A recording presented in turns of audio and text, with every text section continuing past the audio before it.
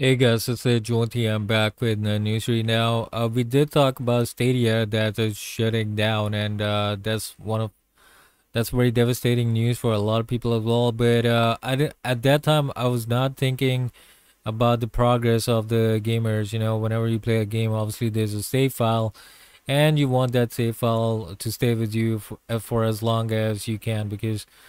Um, you want to get back to the game sometimes you know uh, in the future if you play a game you want to come back to the game and play that game again and you want to start with the same level. I'll tell you a small story about uh, god of war. I when i first got the god of war game so what happened was i played uh, using a disc so uh, that disc uh, somebody just took it from me and um, i said okay no, uh, no problem so um, I get like um, discounted deal of uh, God of War online on PSN, and when I try to play that, I can't really get the save file uh, for the previous game because apparently the digital version was a different area or zone or whatever, and this was different. So I got another disc from another friend, and then I started playing the game after like a year or so. So I did not touch the game after that since I was not able to get the save file. So that's the kind of devastating thing that can happen to you. And you won't even come back to the game unless you get the save files back. So this is the same kind of story that is happening with Red Dead Online.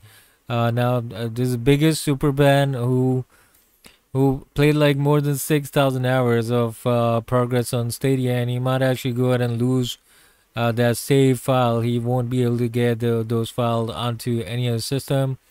Some developers working on projects for Google's soon to be shut down Stadia cloud gaming platform have had a rug pulled out from under them. Plenty of gamers are losing save progress and go to platform.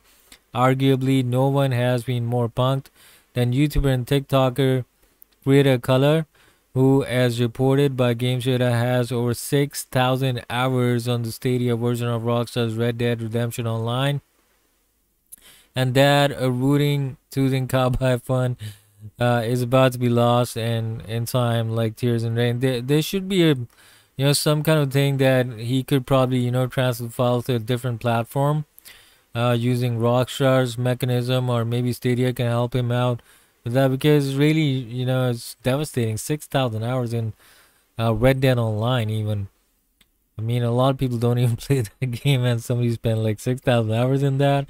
I, I still play that, but not that much. I I did a live stream yesterday.